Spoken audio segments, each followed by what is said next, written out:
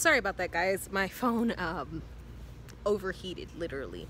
Um, so I decided to come out back anyway. It's quieter back here. Um, so I wanted to just kind of continue in what I was saying is, you know, $1,200 is not really enough for anyone to live off of. I know that there's a lot of people, including myself, who this stimulus check helped out, helped out a lot. You know, I mean, in a lot of ways, this was what people needed to get by. Um, that being said, I think that we really need to acknowledge that in this day and age that we live in, in this time that we live in, things are not how they used to be.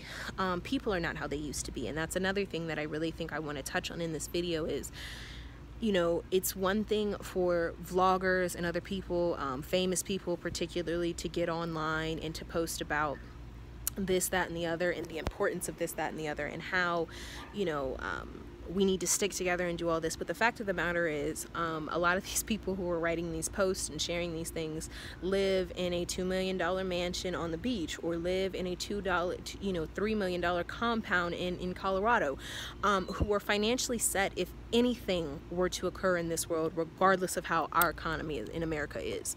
So I think that it really is important for us to really, as just citizens, normal everyday citizens, to really start loving one another, taking the race card out of it because the enemy is working on, and I'm going to put a link in the description box below for my dad's channel um, and some of the stuff that he talks about in relation to what the enemy is really trying to do here in this time that we are vulnerable as a nation.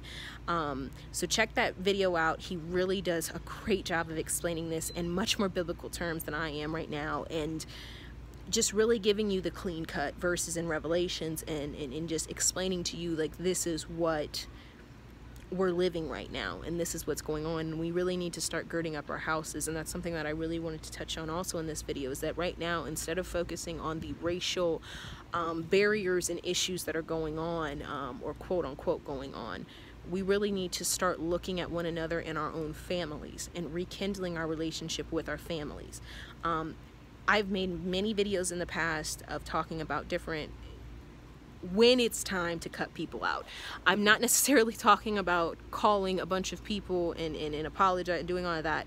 Um, although if you feel like the Lord is putting that on your heart, I do encourage you that this is now the time to do it. Um, I think that as far as immediate household and immediate relationships, we really need to start looking at who is key in our lives and who we need to check on more often. Um, for instance, just to throw out some examples, um, I have been calling my niece every week, trying to call my grandmother every week. Try, I'm now trying to call my dad every week. Just trying to in, incorporate socialization into my daily life much more often than I did before. Um, and there's plenty of people who probably do that anyway. But uh, particularly for right now and what's going on, it's really imperative that we start really valuing and in being thankful for the key relationships in our lives, the true relationships in our lives. And if this COVID has taught us nothing else, it's that, you know, we need each other and we need our families. And the family is really where all security comes from. And I think that it's very important um, during this time to just know that, to get that in your head that it's not the time now to be alone. Um, and that's, I think, a big thing for me is in, in, in through everything that I've gone through in the last couple of years of my life, we need to really be ready for whatever happens as far as revelations being enacted out and playing out. We need to be more than a thousand times ready to stand for the Word of God.